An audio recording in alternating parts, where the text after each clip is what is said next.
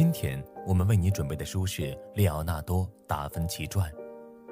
一说起画画，很多人可能觉得这是一个出钱容易进钱难的行当。其实，画画并非不赚钱。一幅画要是能达到世界顶尖水平，那吸金能力可超出一般人的想象。据说，二零一七年在纽约嘉德市的拍卖行。一幅叫《救世主》的画作就以四点五亿美元的高价卖出，成为了史上拍卖价格最高的艺术品。这个价格是什么概念呢？它意味着单《救世主》这幅画就能在北京二环以内买五套房子，每套房子的面积可达二百平米以上。这在很多人看来是一辈子吃穿不愁了。这么昂贵的画作，你是不是有点好奇它的作者是谁？说到他的作者，我们也不陌生，他就是大名鼎鼎的达芬奇。达芬奇这个称呼，他原本不是指名字，达芬奇和地名有关，意思是来自芬奇小镇。达芬奇这个人真正的名字是列奥纳多，不过为了便于大家理解，在后文的讲述中，我们还是称呼列奥纳多为达芬奇。下面。我们将分为三个部分解读《列奥纳多·达芬奇传》这本书。首先，我们了解达芬奇的才华表现在哪些方面，为什么人人都说他是一个全才。了解了他的才华之后，我们再进一步的了解他成为全才的原因。最后，我们了解达芬奇的全才给他带来了什么好处，以及能够给我们什么样的启发。《列奥纳多·达芬奇传》的作者是沃尔森·艾萨克。沃尔森·艾萨克毕业于哈佛大学，现在为杜克大学的历史系教授。他是著名的传记作家，专门给对人类历史有影响力的人立传。在《列奥纳多·达芬奇传》之前，他的《史蒂夫·乔布斯传》《富兰克林传》《爱因斯坦传》就已经相继出版。说到这儿，下面就让我们正式开始学习吧。首先，我们先了解达芬奇的才华表现在哪些方面。说到达芬奇的才华，有的人第一反应可能就是达芬奇会画画，但可能很多人没有想到的是，达芬奇除了是一个画家，他还是一个科学家，而且他涉猎很广。像物理学、解剖学、神经学、化学等学科都在他的研究范围之内。可能有人觉得，达芬奇作为一个画家，他进行科学研究最多是玩票吧？其实不然，他在科学中的发现比很多正儿八经搞科研的人还要多。比如说，物理学中与飞机设计有关的流体力学。空气或其他流体中的流动速度越快，压力就越小。这一个原理就是达芬奇在研究鸽子飞行时发现的，比提出这个理论的科学家早了两百年。在摩擦力研究中，他发现摩擦力的大小与物体平面的接触面积无关，与物体的重量、斜面倾斜度以及粗糙程度有关。这一原理，达芬奇也早于法国科学仪器制造者阿蒙东发现。为了减少物体之间的摩擦力，达芬奇发现一种减摩合金：三分铜和七分锡融化后合在一起，能够成为一种合成金属。这种金属最主要的作用就是增加机器的耐磨性，使机器设备在使用过程中能够更好的运转。这比减摩合金的发明者艾萨克·巴比特早了三百年。除了物理学，他在解剖学也有一些领先发现，比如达芬奇是第一个描述人类牙齿构成的人，第一个知道血液循环的人，第一个知道心脏有两个心房、两个心室的人。达芬奇有这么多第一发现，最主要的原因是他热爱解剖学。他曾经解剖了三十具尸体，亲自记录尸体上的各种构造。在对解剖学着迷的同时，他对人的行为与躯体之间的关系也感兴趣。他认为人的行为是通过大脑信号通过神经系统传导至躯体的。为此，他做了很多实验来验证这个想法。于是，他成为第一个对青蛙进行脑脊椎实验的人。如今，这个实验是生物课中的常规学习内容。由于达芬奇的科学研究只属于个人兴趣爱好，他并不想把自己的科研成果公开出版，所以这些科学发现都是后人在整理达芬奇笔记的时候才发现的。达芬奇的笔记多达七千多页，后人在整理的时候都很惊讶，达芬奇竟然在科学领域有那么多发现。达芬奇的优秀让人有一种不真实感。有人曾经戏谑达芬奇是一个穿越到过去的人。对于只是兴趣爱好的科学研究，达芬奇就有那么多成就。那么他的本职工作画画，他又是如何展露自己的才华的呢？除了开头我们提到的拍卖画作《救世主》之外，达芬奇有很多脍炙人口的名画。最常被人挂在嘴边的就是《最后的晚餐》《蒙娜丽莎》等作品。《最后的晚餐》像一幕戏的定格，达芬奇通过人物的神态、动作，把耶稣遭到出卖的故事展现出来。《蒙娜丽莎》则是一个人物肖像画，以嘴角边一丝神秘的微笑而闻名。因为这两幅画，很多人都觉得达芬奇是当之无愧的大师。不过，达芬奇的大师之路并不是一天练就，这中间也经历了漫长的过程。达芬奇在初入画坛的时候，有一个绘画师傅，名叫韦洛基奥。韦洛基奥开了一个工作室，专门借些绘画的活计，同时工作室内部有一整套关于绘画的培训，确保员工的技能能满足客户的需求。达芬奇在韦洛基奥手下当学徒期间，他通过练习画衣者，掌握了明暗画法，以此增加物体的立体性，并且他在明暗画法的基础上创造了晕染法，通过模糊物体的轮廓，减少为增加物体立体性而产生的生硬感。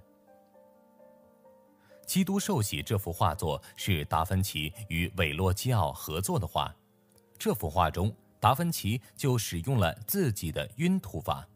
同一幅画中，韦洛基奥笔下的天使与达芬奇的天使相比，人物的线条过于生硬，就像一个曝光过度登记照。与人联合作画是韦洛基奥工作室的特色，因为这是一个具有商业性质的工作室。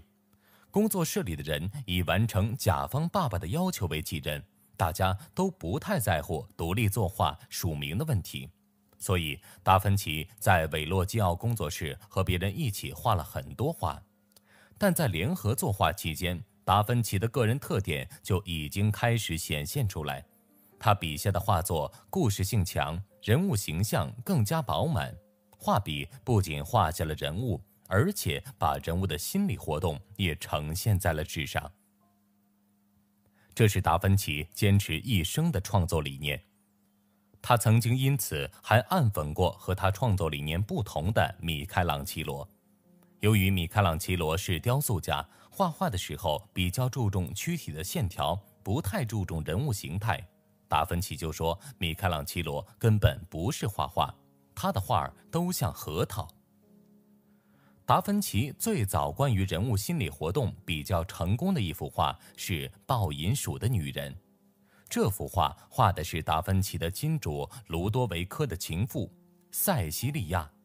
塞西利亚年仅十五岁就委身给卢多维科，但她没有资格嫁给卢多维科，因为卢多维科已经订了婚。达芬奇画这部作品采用了四分之三侧脸的画法。这是脸部最美的角度，同时，达芬奇在塞西利亚的嘴角安置了一抹神秘的微笑，可以说这是蒙娜丽莎微笑的雏形。人们看到这抹微笑的时候，既可以解读塞西利亚沉迷于爱情之中，她非常幸福；又可以解读她是不甘沦为情妇的无奈。总的来说，达芬奇不仅是一个出色的画家。而且是一个出色的科学家，他是一个文理兼备的全才。好了，从上面的讲述中，我们得知达芬奇是一个文理兼备的全才。可能有人会觉得达芬奇不偏科的关键是因为他聪明，其实这并不是主要原因。下面我们将为你分析达芬奇成为全才的原因是什么。达芬奇之所以能够成为全才，是内因和外因综合作用的结果。内因与他的性格特点有关，外因则与大时代和家庭背景脱不开关系。咱们先说内因。首先，达芬奇是一个观察能力特别强的人，这得益于他的一双好眼力。很多对别人来说一扫而过的事物，达芬奇总能敏锐地感知到不同。比如自然界中比较常见的闪电现象，大多数人看到闪电可能就想着回家收衣服什么的。达芬奇看到闪电后，却发现闪电映照下的建筑物比平时看到的建筑物要小。不过，达芬奇的好眼力并不是天生的，他也有行之有效的方法来增强自己的观察能力。他经常会有意识地锻炼自己的眼力。比如，有时候他会拿出一张纸，画三条长度差不多的线，然后让自己通过眼力判断是哪一条线最长。除此之外，好的总结方法也为他的观察能力加持。如果他在大自然中发现什么新奇的现象，他就会采用一种类比的方法来寻找新奇的现象与已知的现象之间的异同。比如说，他在研发乐器的时候。他会把乐器发声的方式和喉咙发声的方式联系起来。其次，达芬奇能够成为全才，与他的探索精神也有关系。达芬奇从小就是个好奇宝宝，爱问十万个为什么。他在很小的时候就喜欢问天为什么是蓝的，花为什么是红的，草为什么是绿的。可能很多人都有过这样一个阶段。对生活中的各种事物充满了好奇，但难得的是，达芬奇的好奇心持续了一生。他长大后仍然执着地问十万个为什么。如果发现不懂的问题，他还会去找专家请教。在他的笔记中，我们经常可以看到这样的碎碎念：找一个水利老师请教如何修缮船闸、运河和磨坊；找一个生物学老师请教。为什么鸟会飞？等等。除了找专业的老师咨询，达芬奇有时也会自己设计实验来探究现象背后的本质。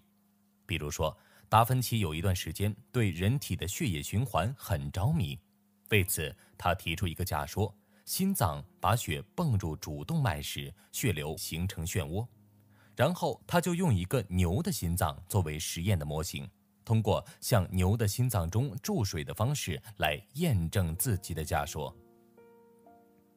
最后，达芬奇的完美主义也是他能成为全才的重要原因。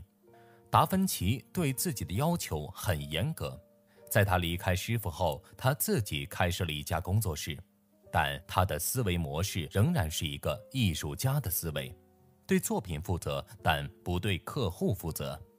比如说，博士来拜这幅画，他本来按照自己的想法画了一版，然后他又按照甲方的要求画了一版。由于他对甲方要求修改的部分不太满意，就一直没有上色。不曾想，这幅没有完稿的画作竟让人们认可了达芬奇的才华。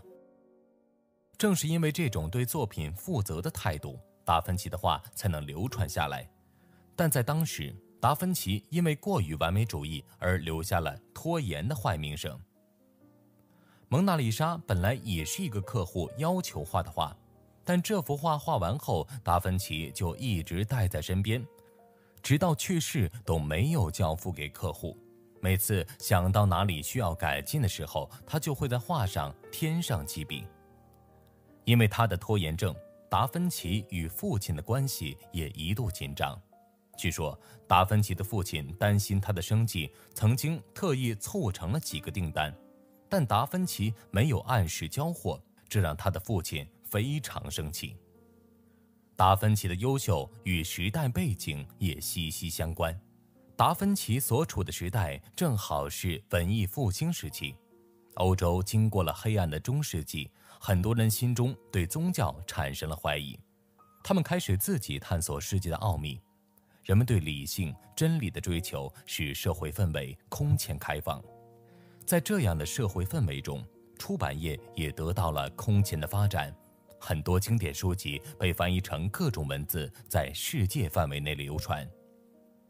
要知道，在中世纪时期，知识只掌握在少部分人手里，而且书本印刷所用的文字一律为难学难懂的拉丁文。达芬奇就不会拉丁文，所以若不是在那样的时代背景下，他本来是没有机会了解那么多知识的。除了宽松的时代背景之外，达芬奇的私生子身份也是他成为全才的重要原因。达芬奇所处的时代对私生子很宽容，所以他并没有因为私生子身份遭到过什么冷眼，但当时还是有一些限定。就是私生子是不能从事公证行业的。不凑巧的是，达芬奇一家祖祖辈辈都从事的是公证行业。本来身为长子的达芬奇有子承父业的义务，但由于私生子身份，他不能进入公证业，这反而给达芬奇带来自由发展的空间。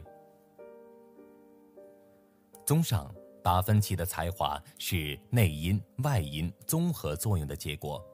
内因指的是他的好奇心、探索精神以及完美主义，而外因则是指宽松的时代背景和他私生子的身份。可能有人会想，达芬奇的确很优秀，但对我们普通人来说，我们也不见得非得成为全才。那么，达芬奇的故事对我们来说有什么意义呢？接下来，我们将和大家分享达芬奇跨专业的学习给他带来了什么好处，以及达芬奇的故事对我们的指导意义。首先，跨专业的学习使达芬奇换工作更容易。达芬奇在艺术上的造诣让他除了画画，还能进行家居装饰、艺术鉴赏、舞台设计。同时，达芬奇在科学上的造诣又让他成为一个工程师、武器设计专家。对老板来说，达芬奇妥妥就是一个多面手，雇佣他一人就相当于雇一个团队。所以，达芬奇换工作的时候一般都比较顺利。自从他离开师傅韦洛基奥的工作坊后，达芬奇曾经先后在三个地方待过。总共换过四个老板。第一个老板是他在佛罗伦萨居住期间，他的老板是佛罗伦萨的实际掌权人洛伦佐。洛伦佐自己是个喜欢艺术的人，他看中达芬奇的艺术才华，决定资助他发展艺术。后来，因为达芬奇不愿意迎合洛伦佐关于艺术的看法，逐渐失宠，达芬奇于是决定换老板。随后，达芬奇就向米兰统治者卢多维科写了一封求职信。信中，达芬奇着力刻画了自己的绘画能力、家具装饰能力、雕塑能力、武器设计能力。卢多维科看中达芬奇的全才，雇佣了他。在为卢多维科服务期间，达芬奇画过画，进行过家居装饰，也尝试设计过武器。可以说是方方面面的才华都得到了一定程度的发挥。后来，米兰遭到切萨雷的侵略，卢多维科逃走，达芬奇因为武器设计、军事工程方面的才干被切萨雷留用。也正是因为自己的才干，达芬奇在战争中保全了自己。再后来，达芬奇回到佛罗伦萨小住一段时间，经过短暂的休整后。他来到了法国，当时的法国国王弗朗西斯一世是达芬奇的粉丝。他喜欢和达芬奇聊天，因为从达芬奇那里可以了解各学科的知识。而且弗朗西斯一世是达芬奇的最后一个老板，也是最好一个老板，因为他从来不要求达芬奇画不喜欢的画，做不喜欢的事。他就是单纯的仰慕达芬奇的才干，愿意出资让达芬奇进行自己喜欢的研究。这就是为什么达芬奇最后是在法国去世的，而法国的卢浮宫也是收藏达芬奇画作最多的地方。技多不压身，达芬奇的才华让他得到老板的青睐，在每次换工作的时候都能找到愿意雇佣他的人。当然，到这里可能还是有人觉得跨专业的学习比较浪费时间，最终会让人哪一科都不精。真的是这样吗？并非如此。比如说，达芬奇关于科学的研究，就让达芬奇的画作因为符合科学规律，也别具韵味。达芬奇曾经画过一幅圣母像，名字叫《眼尖圣母》。达芬奇画的圣母像和其他画师画的很不一样。其他画师在画岩间圣母这个题材的时候，会用白玫瑰来显示基督的纯洁，但达芬奇因为对科学知识足够了解，他知道白玫瑰不会生长在岩洞中，所以达芬奇就把画中的花改成了报春花。还不止，适合植物生长的岩石只可能是风化程度比较高的砂岩，达芬奇笔下的岩石就全部是砂岩。并且岩石与岩石之间还有着自然的垂直裂缝与水平接缝。除此之外，达芬奇的绘画功底又有助于他进行科学研究，因为绘画功底可以帮助达芬奇把自己的科学实验的过程记录下来。这种记笔记的方式会比纯文字直观许多。前面我们提到过，达芬奇对人体解剖十分着迷。他曾经连续解剖了三十多具尸体，他曾经就把自己解剖尸体的过程全画了下来，肌肉、神经分布等等都清晰可见。这样一来，达芬奇下次再要研究人体的时候，翻翻笔记就知道自己研究到什么位置了。老话总说“术业有专攻”，现代人也推行精要主义，这些理论无不告诉我们。我们需要专注一个领域一件事情，但我们从达芬奇的故事中可以看出，跨专业不仅没有像大家想象的一样浪费时间，学科之间融会贯通之后，反而可以打通学习的任督二脉，让自己成为多领域知识的专家。心理学中有一个概念叫信息茧房。如果一个人总是关注某一领域的知识，会变得固步自封，就会逐渐落后于时代。一个人不管从事什么职业，都是需要其他领域的知识给自己灵感。所以，身处职场，如果我们不希望被后来的人超越，我们既要注重知识的深度，也要注重知识的广度。除此之外，在培养孩子的时候，我们也应该尽可能的对他们进行全脑开发，保护孩子对事物的好奇心与质疑精神。只有这样，孩子才能从被动学习变成主动学习。当孩子掌握了学习的技能，他们才能真正掌握生存的能力。好了，说到这里，我们来总结一下我们今天所讲的内容。首先，我们说到了达芬奇是一个文理兼备的全才。一方面，他是一个画家，有自己的创作理念，创作了全新的画画技法，如晕涂法、四分之一像法，也留下了传世之作，比如《最后的晚餐》《蒙娜丽莎》。另一方面，达芬奇又是一个科学家，他的科学研究成果领先世界好几百年。解剖学上，他是第一个发现描述人类牙齿构成的人。神经学上，他是第一个对青蛙进行脑脊椎实验的人；化学上，他是第一个记录了合金技术的人；物理学上，他关于流体力学和摩擦力的研究早于正式提出他的科学家。达芬奇妥妥就像穿越回去的现代人。其次，我们分析了达芬奇成为全才的原因：一方面，他敏锐的观察能力。执着的探索精神以及完美主义倾向的特点，使他成为全才的内因。另一方面，文艺复兴时期开放的大环境以及私生子身份，给了他尽情自我发挥的自由。最后，我们了解了达芬奇的全才给他带来的好处：一方面是找工作容易，他一生待过三个地方，一个是佛罗伦萨。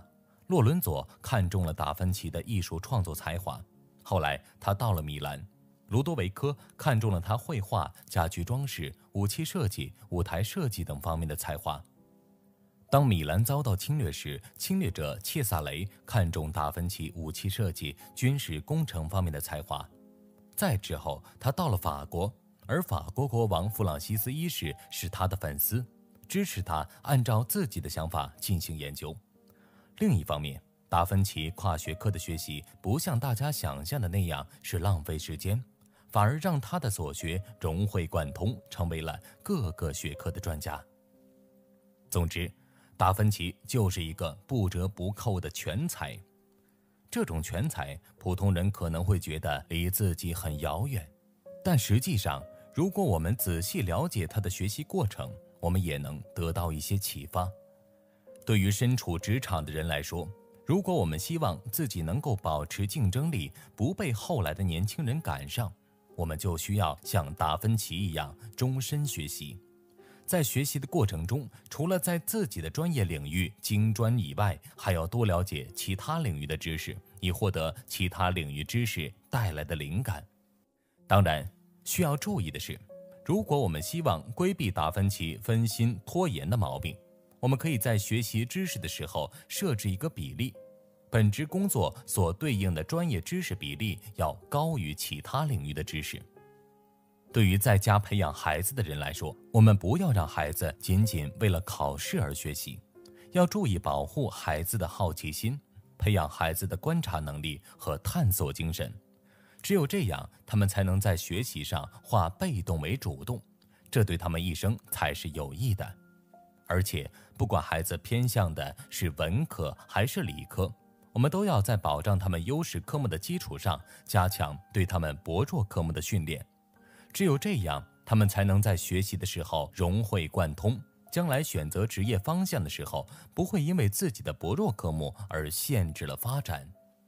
不知道大家有没有发现一个现象？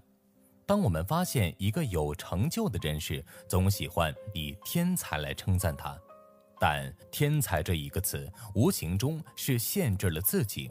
它的潜台词是说，我们永远不可能像这个人一样有成就。网络上曾经流传过一句话：“大多数人的努力程度之低，根本轮不到拼天赋。”所以，如果我们不想自己有没有天赋，只要学着像达芬奇一样勤奋一点，或许就可以收获让自己和他人。都满意的成就。我们这本《利奥纳多·达芬奇传》就学习到这里，期待与你下一本书的学习。